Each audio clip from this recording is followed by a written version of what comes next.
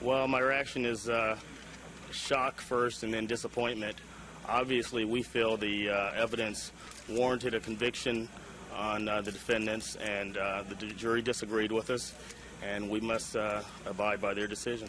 Do you think that holding the trial here in Simi Valley made a difference in the verdict? I I don't think we want to talk about uh, anything along those lines. The jury listened to the evidence. They listened very patiently for six weeks. Uh, They appear to have gone over the evidence, and we have no complaints about uh, the hearing we received. Well, I'm not going to say, it's, I don't uh, want to uh, imply that this is a miscarriage of justice. Uh, this is the way our system works. Um, you present the evidence to a uh, impartial trier of fact, and that trier of fact comes to a verdict, and sometimes you disagree with the verdict, but that's the way the system works. What about the decision not to call Rodney King to the witness stand? Do you have second thoughts now about that? No, we don't have any second thoughts on that. I don't know to what extent, if any, it played in the jury's decision, but we feel it was a proper decision uh, that was made. Thank you Thank very you. One more thing, please. Uh, Yeah. I, I wasn't clear on uh, the exchange in court. Um, the May 15th hearing, does that mean that you do intend to retry uh, Lawrence Powell on count two, or do you still have yet to make a final decision? Well, a final decision hasn't been made on that, but it will be made by May 15th. Uh, we'll be available for other interviews. Uh, this isn't the only time we'll talk. We're we're uh, going to be open. Yes. Sure. Thank you.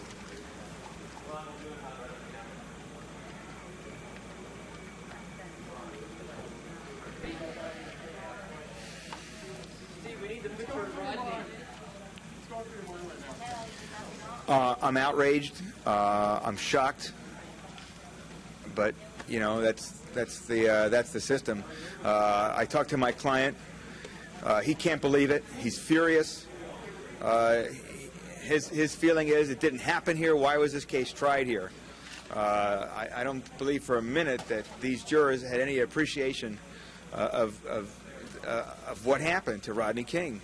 And I, I don't represent the defendants, and I'm sure they're very happy with their their result. But uh, my client and and, and, and I are, are just outraged. It's just it's it's not fair. It's not right, and that's what the federal court's all about. The federal court, in fact, is a forum for these type of cases because state courts have these shortcomings. I talked to my client uh, more, not more than about five minutes ago, and, and he, he can't believe it. He said, but the way he looks at it, his feeling is that it's probably because it was tried here. The crime didn't occur here. They didn't beat him in Simi Valley, and why are these people sitting in judgment of his case? You said all along that you were happy with the prosecution's case. Excuse me, what's your feeling now? I, I was, I was, my feeling was that I was happy with the effort they were putting into it. Uh, you know, it's not for me to second guess them. You know, I, I think there are a lot of witnesses I've said all along that they could have called. They chose not to. There's independent witnesses. There's, What do you think went wrong here then? What's your opinion about that? it may be that 12, you know, 12 white jurors aren't going to convict four white cops for beating a black man, and maybe that's as basic as it is. Well, do you think the I don't know. Did the district attorney's office make a mistake then in not making more of an issue of, of the trial being moved to Simi Valley? I was present in Weisberg's court when they argued that motion. I was present when Weisberg announced his decision to have it transferred and heard here in this courthouse. And I would say that, that Mr. White and, and Yochelson uh, argued uh, extremely uh, uh, uh, articulately and vehemently for the matter to be transferred to Alameda County. And I certainly think the result there would have been more appropriate and more just. I don't think that those jurors would have let these officers off. Should your client have been called? it's, uh, you know, second guessing it. I don't, I, you know, wouldn't that have, would that have made a difference? These jurors weren't inclined to, to, to find these officers guilty based on what they saw in that videotape. I know my client would have made a hell of a good witness. He wanted to testify. They chose not to use him. He will testify in his civil rights case. And the next jury that hears this case, and it may even be another jury that hears the criminal matter, because the DA apparently is going to try, uh, retry Mr. Powell. Was it a mistake then for, for them not to have called him? Well, I, I, you know, I, I can't speak to that because I don't know what exactly was the motivating force for these jurors to, to overlook the obvious violence depicted on that videotape. You know, certainly King would have spoken to the violence. He, he would have he would have given substance to it. He would have let these jurors know what, as a human being, it felt like to be laying on the ground and being kicked and stomped and, and, and, and booted like that by the, by these these four characters. And that's something these, these jurors missed. Maybe that tape didn't come with a soundtrack that they could, that they could listen to and, and listen up to and understand. I've been living with this case and, this, and Rodney King for, for over a year, and I can tell you and, and, and all of you out there that, that this man, when he finally speaks in front of a jury, is going to is gonna turn some heads because what happened to him should never have happened to anybody. And as long as this situation is allowed to exist, it will happen again and again and again. And it's got to stop. It's got to stop. This trial is not the end of this. Message does this verdict send out? It sends a bad message. It says it's okay to go ahead and beat somebody when they're down and kick the crap out of them, and it's okay because if, if it's not videotaped, don't worry about it. Another brother officer won't turn you in, and if a brother officer does turn you in, don't worry. We'll get white jurors or whoever it takes, and we'll, you'll walk. And you're protected by the system. You're backed up by the system. But I'm not happy with this result. I have a client. My client is, is outraged. I'm shocked that this could happen, and the fact that it would happen here or happen anywhere is disgusting. And I think that we have to send a message to the world that we know how to take care of, uh, of our citizens. And in a sense, this sends a message out to the world that not only were we not prepared to admit that what happened here was wrong, but we're prepared to go ahead and, and, and ratify it and say, it's fine, they're not guilty, it's fine, everybody go home. Instead, there's talk of Chief Gates spending a million dollars to put extra officers on the street so that, that the, the, the minority community can be controlled if they're hot after this verdict. I think it's, it's, it's a good time, folks. If you got a plane ticket, cash it in and get the heck out of Dodge. This is going to be a bad place to live. Mr. King, to speak out about this now, Steve? I think Mr. King is, is, is right now in a sense of shock. He's in a state of shock. He, he yes, I've talked to him. I talked to him within the last 15 minutes. He, he's out. He's, he's speechless. He's almost speechless. You know, he's with some friends. Is he going to talk to us at some point now because of this verdict? I think when he has a chance to digest what's happened and kind of frame some comments that he would probably figure appropriate, I, I think that you know we're, we're definitely going to uh, have an opportunity for him to, to make some comments and his reaction. Not only by, by the outcome, but, but by the apparently overwhelming nature of this verdict. I mean, even on the one count, it was four guilty, eight not guilty. Even on the count on which the jury uh, did not decide. Well, Dave, I, I I think that history is going to look back at this case and, and, and take note of the fact that there were very, very hot emotions running all through the case. It's, it's been uh, quite unusual and significant and unique that, that a case involving uh, uh, all of these different components would all, you know, in a sense, come together now at this time. But regardless of what these jurors were thinking when they went into that room and deliberated, I, I agree with you that it, it would seem that they that they chose to ignore, they chose to ignore and disregard the, the most fundamental issue, and that was the issue of, of brutal, excessive, felonious fault, felonious criminal liability, assault on this on this man. And, and there's nothing that Rodney King did to deserve what they did to him. And now they walk out there and, and they're heroes. Lerman, what was um, We'll have our day. We'll have our day. What was missing from the prosecution's case? Well, I have to be in a, in a better position to comment on that when I have a, a sense from these jurors about what they thought was or was not missing.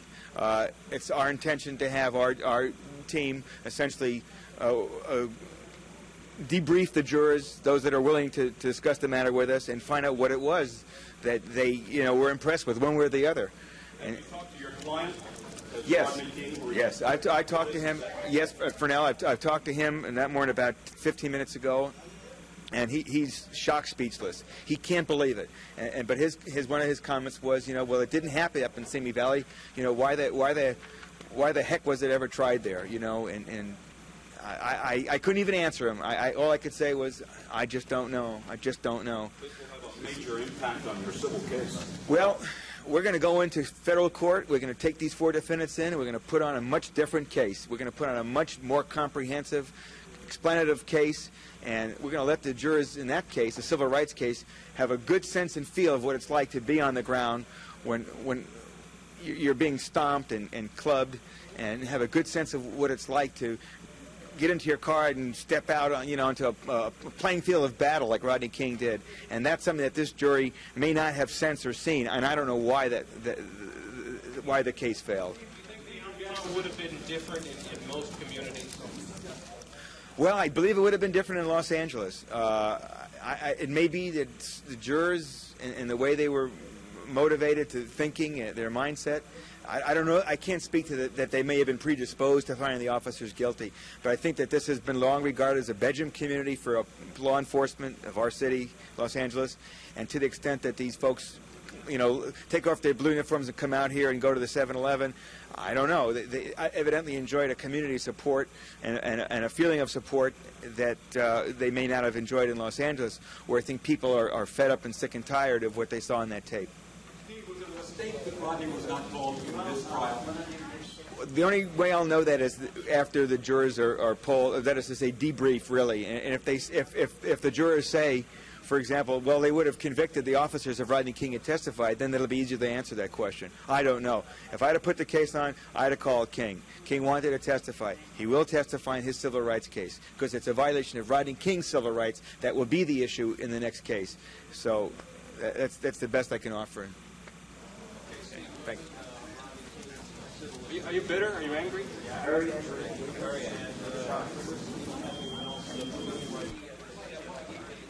And he's and he's been concerned about this. Okay.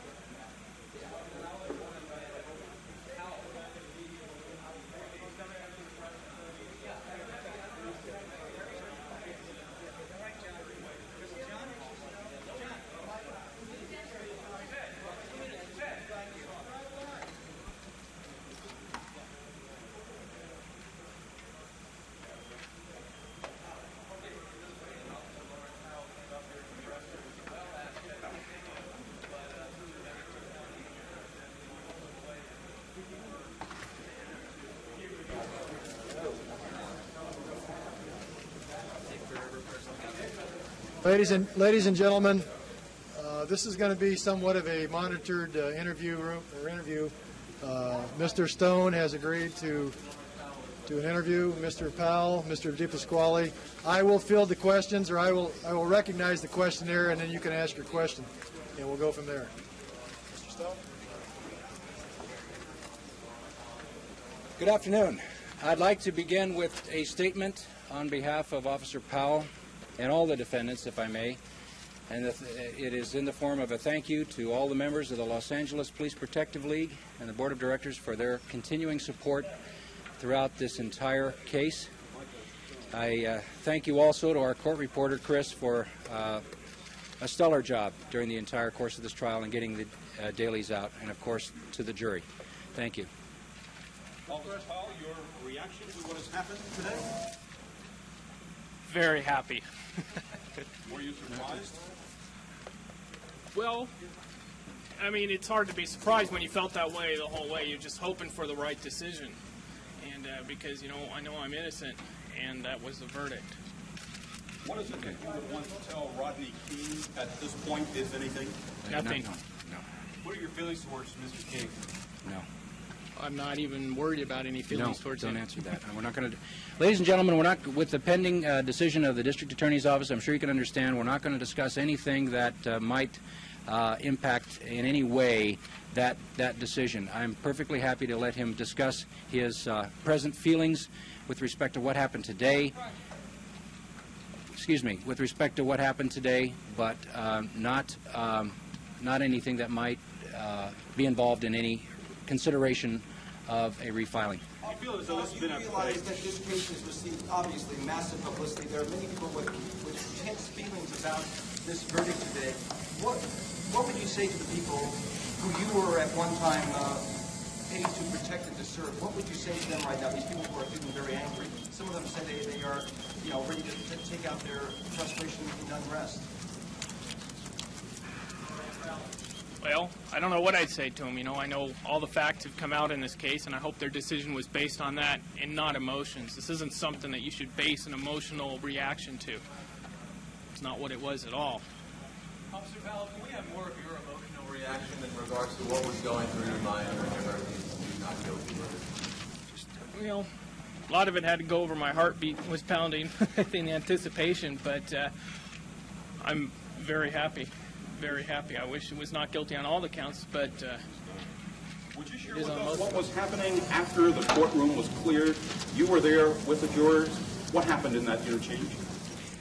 Um, excuse me, sir. Um, the jurors did not come down to the courtroom. Uh, the jurors had a prepared statement uh, read by the information officer of the Los Angeles Superior Court. We didn't have the opportunity in the courtroom after the verdicts to see the jurors or to speak with them.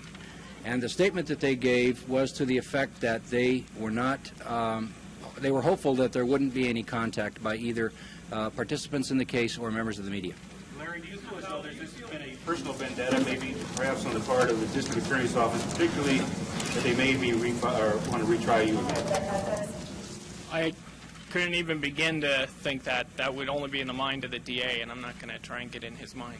Mr. Excuse me, excuse me, we got a question back here vindicated not only in a legal sense, but vindicated, say, in the eyes of the people in the community, the people who saw that videotape on the news uh, last March 13th, vindicated in a, in a, in a larger sense? I think each person had to make up his own decision based on what he saw. I mean, I saw a lot of people felt vindicated just watching the trial on TV, you know, and a lot of people already had reached their decision. So I don't think people's individual decisions were based on what the jury was going to say. If a person thought I was innocent from the beginning, regardless of what the jury thought, he would still think I was going to be innocent. Mr. Ball, if you, uh, if you had that night more than a year ago to live, to live over, would you do anything different?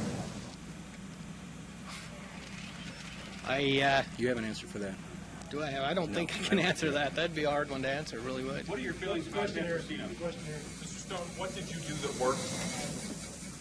Um, one of the things that I thought was very important in this case in the beginning was to try to put the jurors in the shoes of the police officers at the scene, all of them. And I think we were able to do that based on the verdicts and the, um, the way that the evidence uh, rolled out. I think that we were able to, to do what we set out to do, which was get the jurors to look at this case not through the eye of a camera, not through the eye of an amateur video, but through the eyes of the police officers who were uh, confronting this situation on March 3rd, 1991. Excuse me, excuse me, let's not be uh, firing all these questions at once. We'll, we'll try to answer everybody's questions. Linda was next. Mike, how important was jury selection in this case? Uh, selecting the, a, a neutral and impartial jury was one of the most important aspects of the case. That's why it took uh, almost half the length of the trial to do that. And again, uh, I'd like to say that uh, what we said in the very beginning, that, that race had absolutely nothing to do with the selection of the jury. It, it was based on the answers that they gave, both in writing in the juror questionnaire and in response to oral questions posed by the court. Larry, go ahead. What are your feelings, Officer Powell, towards Officer Briseno? I congratulated him after this. I've got no animosity. Is your life still in limbo because of the one trial, the one mistrial? Sure. Absolutely. I won't know until that's resolved. Nina, Nina, The trial with Ventura County, how important was that? The ability to select a fair and impartial jury in this case was, of course, one of the most important aspects uh, that we faced in the defense. Moving the case out of Los Angeles County was essential to achieving that result. Uh, I'd like to think that uh, this same trial would have resulted in the same uh, verdicts, with, regardless of where it was tried, outside of Los Angeles County. Nina. Officer Powell, you said that, uh, I I wanted to ask if you had any concerns for your personal safety, um, given the decisions in this case, and are you going to be doing anything about it? Uh, no comment. Purnell. There are a lot of people who would say race was indeed a big issue in this case. Your response to them? A lot of people have said that for a long time, sir, that, that race uh, was a part of this case. It was not a part of this case. It wasn't a part of the prosecution's case. It wasn't a part of the defense case. And it wasn't part of the jury's selection. And it wasn't part of the jury's decision. Kelly. Mr. Powell, yesterday you indicated that your career in law enforcement is over. Does that still stand in light of this verdict? I'm sure it does. Dave. I don't know. I got to wait till everything's finally resolved, which it isn't at this point.